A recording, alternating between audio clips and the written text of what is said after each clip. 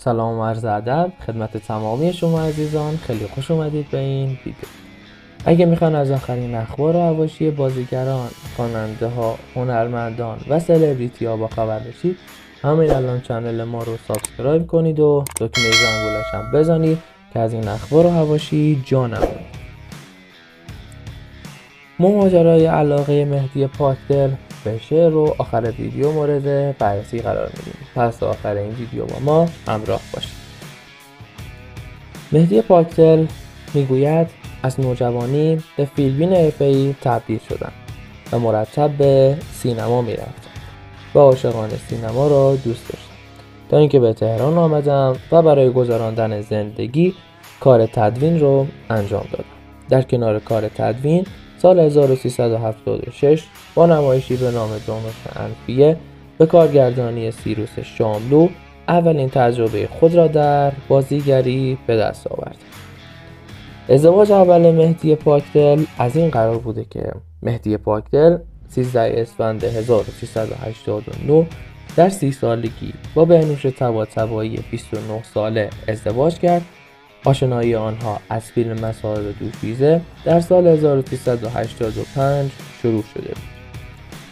مهدی پاکدل کار بازیگری را با ایفای نقش در نمایشی جنبش انفیه که همونطور گفتیم در تئاتر آغاز کرد او با حضور در فیلم سینمایی آبی به کارگردانی حمید لبخنده در سال 1379 وارد عرصه سینما شد مهدی پاکدل در این فیلم با بازیگرانی مثل هدیه تهرانی، بهرام رادان و حسن جوهچی هم بازی بود.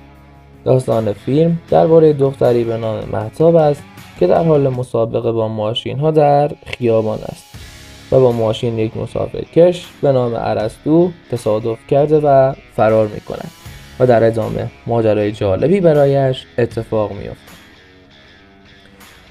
مهدی پاکدل سال 59 در اصفهان به دنیا آمد.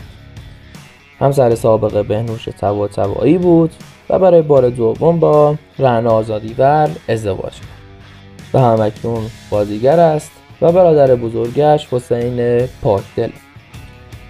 بیش از آن که با خود گروس آشنا شوم با شعرهایش او را شناختم. این جمله از مهدی پاکدل است.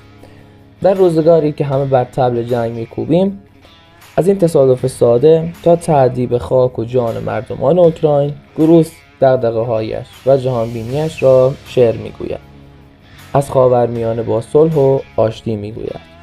ما ملتی هستیم که صدها سال استبداد و استعمار را با شعر و شاعری پشت سر گذاشتیم.